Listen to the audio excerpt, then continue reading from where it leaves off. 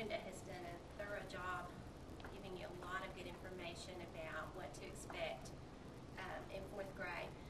Homework, we try to keep pretty minimal, um, 20 minutes of reading a night um, at home, and um, a spelling test each week, and studying spelling words during the week. Um, for math, um, we have what is called a Math for Today test on Friday. Um, and it's based on um, some spiral skills that we work on throughout the year, as well as um, focus skills that we have concentrated on that week. And they will bring home one paper, brought home that paper, and you had some problems that were marked to be sure to study so that you would be prepared for the test on Wednesday. Well, that is what you're going to see on Thursday of this week. Um, they'll bring home that paper, and there will be 10 problems that will be marked go over and review, make sure you understand that kind of problem because you're going to have 10 problems like that on the test on Friday. Um, your child really should not come home with um, schoolwork that would take more than 10 to 15 minutes to complete. If they do, uh, like Mrs. Lawrence said, maybe it's an assignment from science or social studies to complete. Maybe your child was absent and um, needed a little extra time to complete um, an assignment, but your child would have a week to complete a science or social studies um, assignment. If you ever have any questions, uh, feel free to let us know. We'll be happy to, to answer it for you. Um, one of the things that Mrs. Lawrence just leaned over and she said, oh, I forgot to tell them really one exciting thing that we do in fourth grade this year. Since it is Texas history, we read a trilogy of books by a lady named Janice Jordan Sheppel. And the first book that you can ask your children about that we've started is A Paradise Called Texas. So we are able to bring in and integrate our social studies with our reading also. So most of the classes have started the book. There are a few students that may have been absent, so they may have to catch up on a chapter or two. But we're going to be working with that trilogy, and the boys and girls, once we get past about the fifth chapter, they just, they're like, don't stop, let's read more, let's read more. So that's something, ask your child about. Have you been reading from Paradise Called Texas? We try to read from that novel usually on Wednesdays or Thursdays. So try to ask them about what's going on with Mina and her family, because we're learning about a German family that's going to be. Now, I'm going to talk to you a little bit about parent communication. The easiest way for you to communicate with us and the best way, because we see it every day, is your planner. So when your student brings home the planner, be sure, show me your planner. What do you have in it today? That's where you're going to see what we're working on in class, as well as assignments that they will have due for social studies or science throughout the week. You've heard some of this before, right? So everything we're saying, it all goes together. We work together as a team, and so we want to make sure that our children work together as a team as well. Uh, we'll also be conducting con conferences this year. We'll have one probably pretty soon coming up that we'll have our first parent conference in the classrooms, and then we'll have one sometime in the spring to have a, our two annual conferences. Uh, if you have something important that you need, a message that you need to get to your child during the day, please call our classroom phones. They will not ring through into the classroom, but the red light comes on, and I know I see mine from across the room because it is so bright. For example, you thought you were going to be able to eat lunch with your child, and something happens and you're not going to be able to eat lunch your, with your child. Call, leave that message, and we'll make sure that the child receives the information so they're not worried that you're not there. Or if you have uh, an afternoon bus change or car pickup, call, leave a message, we'll get them the right message on what to do. Now, there's only one thing different about the bus pickup, and this is something not really new. But last year, if your child needed to change buses, you know, they're assigned one bus. If there is an emergency situation that your child needs to take a different bus home, you must call Mr. Scott Stegner through the bus barn. And he'll get the information and get it okayed and get us the information to let that happen. So, you know, going home to spend the night with a friend just because they want to, that's not an emergency situation.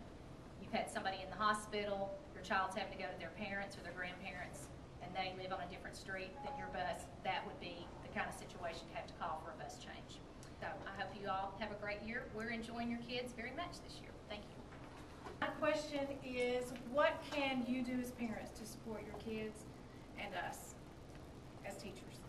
And you are doing it right now, just by being here in this room. You took time out of your busy schedule to come and learn more about the fourth grade year, and we appreciate that. Um, I'm going to repeat a lot of what you've already heard tonight.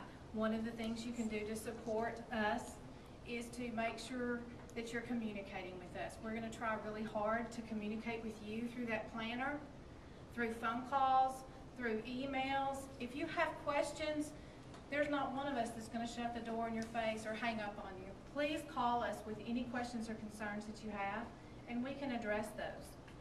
And if, we- we will do it as soon as we can. We can't always pick up the phone right when you leave a message and call you back, but we will do the best we can as soon as we can. Um, encourage your kiddos at home that it's okay to bring home a bad grade every now and then. Don't chew them out. If they bring home a bad grade every now and then, we all have days where we don't do so well. Maybe we're not feeling good and we don't do well on a paper.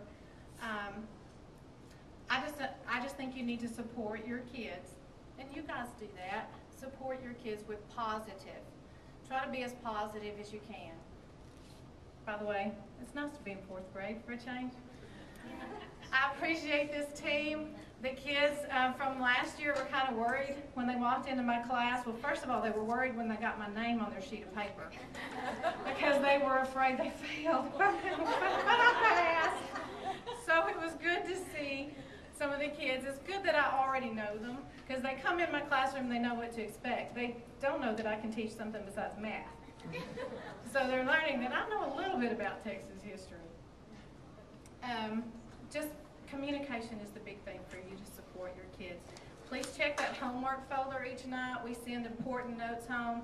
Um, I have had some notes this week that are still in the folder that we sent home at the first of last week. So again, communication is a big key. And if you have any questions or concerns, please feel like you can talk to us. I'm sure all of you are very excited you survived third grade. That is such a huge year, and know, as um, having been a third grade teacher, um, being on campuses where there's been third grade, know that I understand that that's a big transition year. And know that your kids have done a lot of maturing in the past couple years. And, you know, we do still have STAAR tests. It is very, very rigorous. And if you ever want to just see kind of what sample questions look like, if you go to TEA's website and type in um, STAAR tax samples, or they'll come up with different things if you want to see the level of rigor that our kids are being expected to do. They're being expected to read poetry and tell you what images they can see or how the meaning would change if they changed out a sentence or changed the title. Um, and so students are being asked to think critically on these things that when you and I went to school, we probably didn't do until we were a lot older. So there is a lot more pressure. There's a lot more expected of kids at a younger age. Um, and that's what the state has given us. And so when we're pushing these students, know that we're teaching those TEKS. And you are always welcome to go to TEA's website, and those TEKS are posted, and you can see the different things that they're being asked of. And it is rigorous, and it is very different than when you and I went to school. It has definitely gotten harder. You see things and you go, I probably didn't do that until I was in sixth grade, or I probably didn't do that until I was in fifth grade.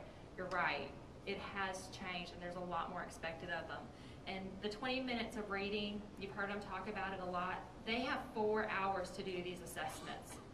And as your fifth, as your third graders last year, they had about five stories that they had to read in four hours and answer questions about. And their math test, there's a lot of reading on there. And so when we talk about endurance, that's because the state's giving them four hours. Four hours. When it used to be an all-day test and the kids could take breaks and put their heads down, go, you know, take some more time. So there's a lot more expected on them that we're getting from outside. It's not just us, it's not just these teachers, it's everywhere in the state of Texas. And so just know that we understand, we feel the pressure with you because we want our students to be successful. At the end of the day, we want your child to be successful just as much as you do because every single child counts.